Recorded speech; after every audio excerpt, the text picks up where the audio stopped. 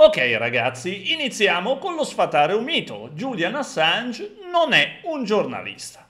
È un piccolo hacker che inizia la sua carriera con un Commodore 64 e la termina momentaneamente nel 1992, quando viene arrestato per essersi infiltrato nei sistemi informatici di alcune università australiane e nel Dipartimento della Difesa degli Stati Uniti d'America. Circa dieci anni dopo, Assange crea Wikileaks, e viene nominato o si nomina lui da solo se medesimo perché lo staff non è esattamente nutritissimo, editore in capo. Verosimilmente la passione per l'attivismo Assange la eredita da suo padre, John Shipton, che è un personaggetto. Per intenderci vi dico solo che oltre ad essere un militante contro la guerra va anche a farsi un viaggetto in Siria, dove ha l'occasione di scambiare due parole anche con Assad, che per chi non lo sapesse è il dittatore che comandicchia da quelle parti e con l'aiuto di zio Vlad ha eliminato un mucchio di persone. Vi dico solo che a confronto Netti è uno dei City Angel, oppure un volontario che serve pasti alla Caritas. E mentre Assad, dopo quasi vent'anni, continua a dittatoreggiare, Shipton è rientrato in Australia e si è riciclato come Z-fan. Sì, insomma, non è che gli piaccia il Mazinga Z, semplicemente supporta la Russia e l'operazione militare speciale per intenderci, tiene dei discorsi per coinvolgere gli australiani e fargli tifare Vladimir Putin. Normalmente si porta appresso un microfono e indossa un colbacco. Se poi vi interessa il gossip, sappiate che Shipton si è disinteressato alle sorti del figlio fino a quando questo è diventato famoso. E sì, se ve lo state chiedendo, sostanzialmente Assange è cresciuto con un padre putativo slash patrigno. Non a caso porta il cognome del direttore di teatro che ha sposato sua madre. Il padre biologico di Assange è sparito quando aveva poco meno di un anno ed è ricomparso magicamente quando ne aveva più di 25. In ogni caso, Assange fonda Wikileaks per sconfiggere il male che imperversa nel mondo e nella fattispecie per costringere i governi, enti governativi ed altre istituzioni a rigare dritti. L'idea di fondo è che tu pubblichi tutto ciò che c'è di marcio e poi questi enti devono darsi una regolata perché diversamente ci penserà l'opinione pubblica a fare giustizia. L'idea di Assange non funziona proprio benissimo, nel senso che ovviamente non riesce a rovesciare un governo cinese non riesce, se ben ricordo, a rovesciare neanche un governo tunisino o uno sudamericano. Però il grande pubblico inizia ad appassionarsi e scopre che effettivamente ci sono dei militari cinesi che compiono abusi a danno dei tibetani. Assange riesce a pubblicare questi video. Tutti possono vedere quello che succede e questa è certamente una cosa buona. I problemi iniziano nel 2010, quando Assange viene in possesso di 250.000 comunicazioni dell'ambasciata degli Stati Uniti, che lui aiuta a decodificare e pubblica sul suo sito. Questo evento diventerà noto come Cablegate. È l'aprile 2010 e scoppia un bippino tremendo, sotto tutti i profili. Tutti i documenti pubblicati sono sensibili o addirittura coperti da segreto di Stato. In alcuni casi si tratta di un segreto di Stato scomodo che serve a coprire qualcosa che l'opinione pubblica non deve conoscere perché diversamente si imbipperebbe a bestia. L'esempio tipico è quello dell'incidente in cui alcuni piloti americani per errore eliminano dei giornalisti e dei civili scambiandoli per terroristi. In altri casi si tratta di comunicazioni scomode perché comunque il tono è di un certo tipo, oppure ancora si stabilisce quale strategia tenere nei confronti degli alleati e di botto ci si accorge che in diplomazia non sono tutti bravi, belli e buoni e che qualche pugnalatina diplomatica alle spalle degli alleati qua e là si infligge pure. E poi vengono pubblicati anche documenti che realmente nell'interesse dello Stato e di molte persone dovrebbero restare classificati e segreti.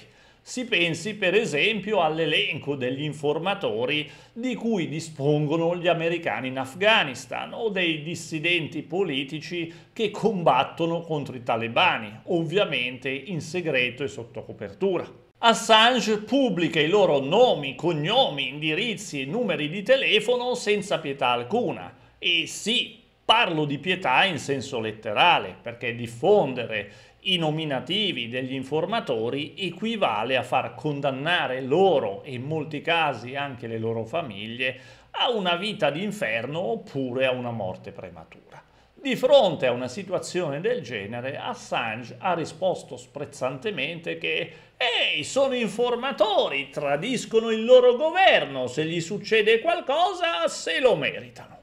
Sì, insomma, secondo questa logica, anche Assange è un traditore della patria e dovremmo portarlo a Guantanamo. Nel 2010 Assange ritiene che sia venuto il momento di espandere Wikileaks anche nell'est Europa e più precisamente in Russia e Bielorussia. Per queste zone nomina come responsabile un certo Israel Shamir, il quale, ironia della sorte, è apertamente antisemita. E apparentemente non prova neanche a nasconderlo. Quando arriva negli uffici di Wikileaks, alla presenza di un altro volontario, dice esplicitamente che materiale avete sugli ebrei. Il volontario riferisce naturalmente tutto immediatamente ad Assange, ma quest'ultimo non resta particolarmente negativamente impressionato, perché infatti non solo affida Russia e Bielorussia a questo tizio, ma addirittura quando riusciranno a ottenere le informazioni relative ai dissidenti bielorussi le pubblicheranno in blocco con estrema felicità e soddisfazione tanto di un certo Lukashenko quanto di un altro, altrettanto certo e ben più famoso, Vladimir Putin. Ebbene, potete immaginare che cosa Lukashenko abbia fatto a questi dissidenti. Nel 2012, per mera coincidenza, Russia Today affida la conduzione di una trasmissione proprio ad Assange, che fino al momento prima non era certamente noto per scrivere articoli o per svolgere inchieste sul campo e tantomeno come presentatore televisivo. Apparentemente il suo compito è quello di intervistare rendere ancora più famose e simpatiche ad ovest persone il cui cuore batte per la Russia. Alcune delle persone che Assange intervista sono semplicemente controverse, come Noam Chomsky, altre sono qualcosa di decisamente più inquietante, come per esempio il capo di Hezbollah. Nel 2016, in piena campagna elettorale, Assange non si fa scrupoli di ricevere e soprattutto pubblicare le email di Hillary Clinton e soprattutto del suo gruppo che la appoggia per le elezioni. Nel 2016 ricorderete infatti che Hillary ha sfidato Trump, perdendo più o meno malamente. Ebbene, le ragioni di questa sconfitta affondano anche in Wikileaks, perché il GRU, cioè i servizi segreti russi, sono riusciti a bucare i sistemi de- di quelli che sostenevano la campagna di Hillary Clinton e hanno passato una marea di email che ovviamente avrebbero dovuto essere riservate in quanto corrispondenza proprio a Wikileaks e ad Assange.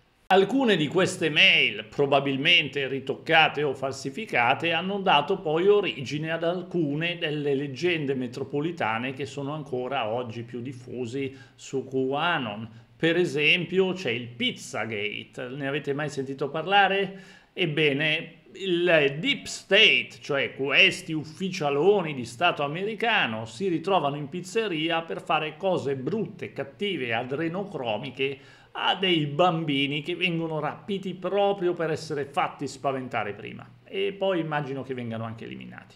Comunque sia la leggenda per cui il Deep State è composto da tizi che dipendono da sostanze strane, ben più strane di quelle normali, oppure ancora da rettiliani, cannibali e quant'altro volete, beh, nasce anche da lì. E oltretutto risultano un congruo numero di contatti fra Assange di persona personalmente e alcuni collaboratori di Trump d'alto bordo. Insomma, se dovessimo vederla in maniera completamente approssimativa, saremmo portati a credere che Assange non sia esattamente neutrale, ma che in realtà sia anche un asset a disposizione dei russi. Infatti pare che nel 2016 Wikileaks abbia ricevuto moltissimo materiale dalla grande madrepatria, ma per qualche misteriosa ragione Assange ha deciso di non utilizzarlo. E ragazzi, vi ricordo che nel 2016 la Russia nei due anni precedenti aveva invaso la Crimea e occupato parte del Donbass sfruttando i cosiddetti omini verdi, ovvero soldati russi senza insegne. Qualcosa mi dice che la pubblicazione di quel materiale avrebbe potuto essere molto molto utile per comprendere come i russi intendessero portare avanti la guerra in Crimea e soprattutto in Ucraina. L'anno successivo Wikileaks pubblica dei dati relativi all'Arabia Saudita. In questo caso non ci sono censure, esattamente come sempre avvenuto fino ad allora, e viene esposto nome, cognome e indirizzo di una persona che ha tendenze omosessuali e vive proprio in un territorio arabo. In pratica, per colpa di questa pubblicazione, il tizio, se ha avuto fortuna, è stato straghettizzato. Se invece l'è marcato male, è finito in carcere o, peggio ancora, non è più tra noi.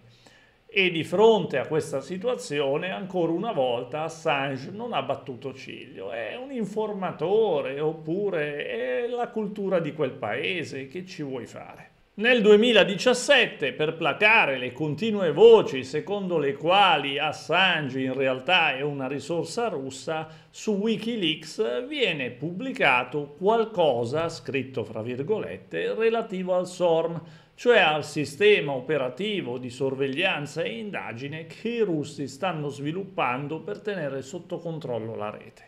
Il problema sta nel fatto che, a dispetto di tutti i precedenti pacchetti di informazione o disinformazione pubblicati da Wikileaks, qui il materiale è vecchio, è completamente inutile, non c'è nulla di interessante o che possa essere utilizzato. E mentre Assange si trova bloccato nell'ambasciata dell'Ecuador perché, ripeto, ha preferito fuggire lì invece di affrontare un processo in Svezia per violenza bippale, violenza che è bene ricordarlo lui non ha commesso e dalla cui accusa è risultato assolto dopo circa 5-6 anni, credo nel 2019, ma che gli è costato un procedimento penale in cui questa volta sì è stato considerato responsabile in Gran Bretagna perché molto banalmente per sfuggire a quel processo ha violato la misura cautelare in essere in Gran Bretagna e quindi quando poi è uscito dall'ambasciata dell'Ecuador, o meglio è stato portato fuori di peso dall'ambasciata dell'Ecuador perché è divenuto ospite scomodo dopo credo sette anni, eh, il giudice inglese ha detto guarda da quel processo in Svezia eri innocente e quindi è come se non fosse successo niente, ma noi ti avevamo messo ai domiciliari e tu sei scappato nell'ambasciata di un'altra nazione. Questo è reato e mo un anno di carcere te lo fai tutto. Questo è il discorso della grande persecuzione di Assange. Comunque, mentre Assange si trovava ospite dell'ambasciata dell'Ecuador, è stato uno dei frontmen per l'indipendenza della Catalogna. Questo movimento per l'indipendenza della Catalogna, per mera e pura coincidenza, era appoggiato anche dalla grande madrepatria russa. Poi, ripeto, eh, non è detto che Assange sia un agente russo, magari è la Russia che stalkerà Assange, qualunque cosa fa i russi ci vanno dietro. Se così dovesse essere, Ah sì, prova a chiedere di ritirarsi dall'Ucraina, che magari chiudiamo una partita aperta abbastanza in fretta. E infine nel 2017 gli amici di Putin hanno provato a organizzare la fuga di Assange. Naturalmente Assange avrebbe dovuto ripararsi nella grande madrepatria all'ombra del Cremlino e vivere romanticamente in Russia la sua vita. E quando affermo gli amici di Putin lo intendo in senso letterale, perché in pratica quattro fonti diverse hanno confermato che un uomo d'affari russo si è recato all'ambasciata dell'Ecuador e ha trattato il possibile trasferimento di Assange il trasferimento di Assange sarebbe dovuto avvenire con risorse non private di quest'uomo, ma dello Stato russo. In particolare Assange avrebbe dovuto essere caricato all'interno di un'automobile che, diplomatica, quindi un'automobile in uso all'ambasciatore russo, e poi da qui trasferito fino ad un aeroporto dove sempre con il corpo diplomatico russo Assange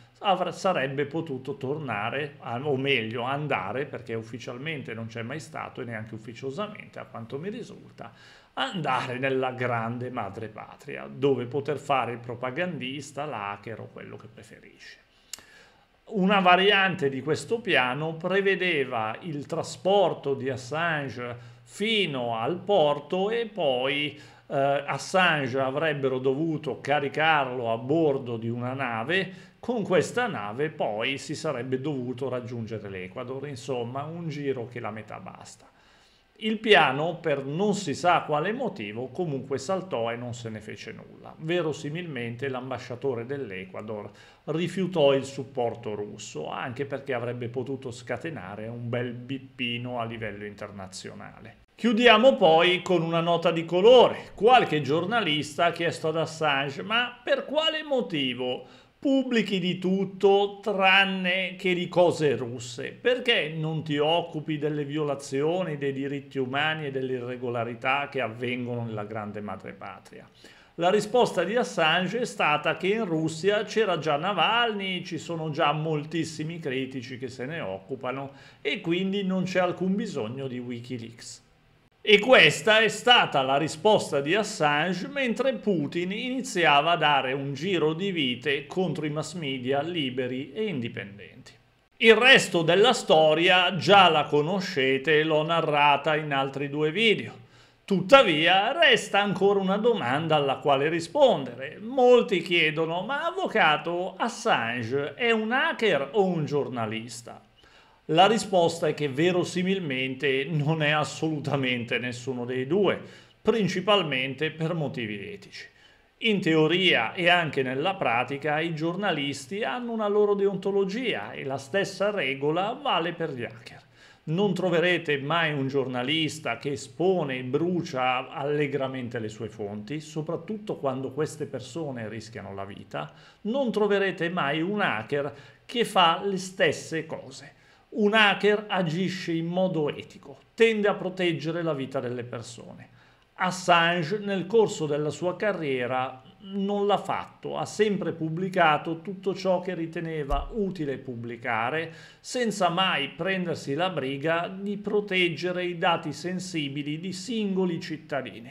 Ha esposto informatori che combattevano contro i talebani, e ha esposto anche un cittadino o un suddito, perché credo che nell'Arabia l'emiro sia un monarca, un suddito arabo che aveva un certo orientamento sessuale che avrebbe potuto, anzi certamente l'avrebbe fatto condannare in sede penale nel caso in cui fosse stato scoperto. Poi, naturalmente, il fatto che Assange non sia un giornalista non vuol dire che non lo rivedremo su Russia Today o su qualche altra testata o mass media. Margarita Simonian infatti ha già dato la sua disponibilità per assumerlo e assegnargli la presentazione e la conduzione di una trasmissione sempre con RT. Insomma, il mio parere su Assange è decisamente molto, ma molto critico, al netto del fatto che sia o meno una risorsa dei russi.